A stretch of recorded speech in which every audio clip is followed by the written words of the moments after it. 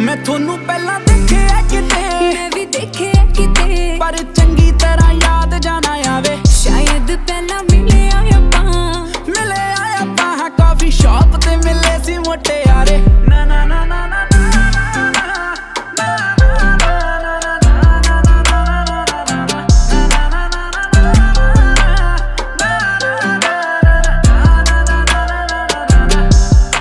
ਮੈਂ order Hazel ਨਕਸ ਕੀਤੀ, ਤੁਸੀਂ ਸੀ ਕੈਫੇ ਮੋਕਾ ਪੀਤੀ, ਮੈਂ ਤਾਂ ਜਮਾਨੀ ਮਿੱਠਾ ਪਾਇਆ। ਚਾਰ ਪਾਉਚ ਤੁਸੀਂ ਸ਼ੂਗਰ ਲਿੱਤੀ, ਅੱਖਾਂ ਦਾ ਰੰਗ ਲਾਲ ਸੀ, ਤੁਹਾਡੇ ਲੱਗਦਾ ਖੜਿਆ ਮਾਲ ਸੀ, ਤੁਹਾਡੇ ਰਾਉਂਡ ਸ਼ੇਪ ਦੀ ਮੁੱਛ ਸੀ, ਤੁਹਾਡੇ ਕੱਪੜੇ ਬੜੇ ਕਮਾਲ ਸੀ, ਤੁਹਾਡੇ ਕੁਰਤੇ ਵਿੱਚ ਸਵੈਗ ਨਹੀਂ ਤਾਂ ਨਹੀਂ ਤਾਂ ਨਹੀਂ ਤਾਂ ਪੈਂਟਾ ਸ਼ਰਟਾਂ ਪਾਉਂਦੇ ਆ ਜੀ ਸਾਰੇ। ਮੈਂ ਤੁਹਾਨੂੰ ਪਹਿਲਾਂ